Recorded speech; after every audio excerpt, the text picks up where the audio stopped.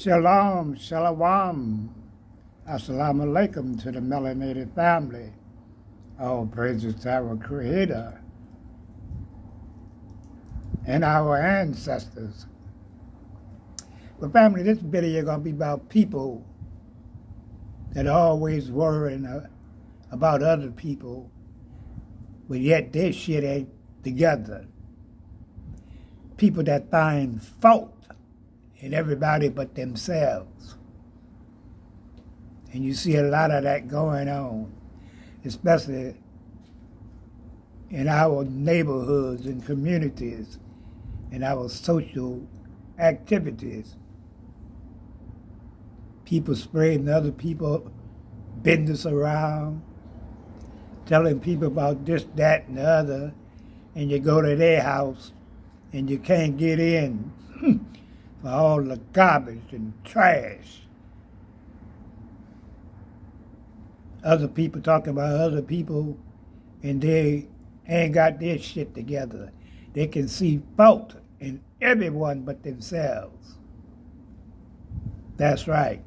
They got a lot of people like that love to criticize other people. And their life is in shambles. They behind in their rent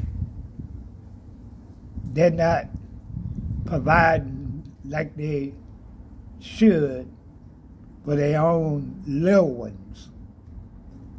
Sitting there gossiping on social media. Black men talking about black women. Black women talking about black men. And ain't nothing being accomplished. And ain't nobody taking accountability accountability for their own foolish and ignorant actions.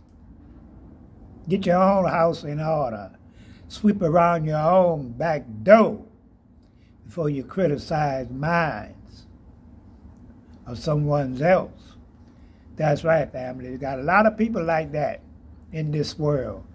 Worried about Mary, worried about Tommy, but yet this shit is in shambles. They're behind in the rent. Can't barely pay their bills.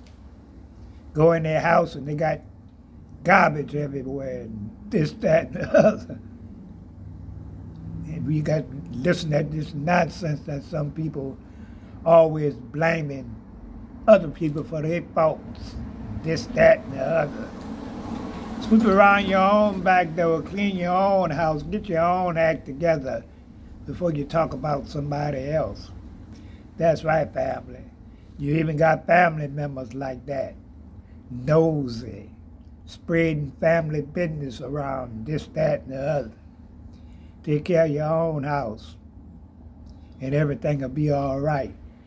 Peace and love. Put up the likes and shares and stay tuned for the next video or live stream, man. I'm out.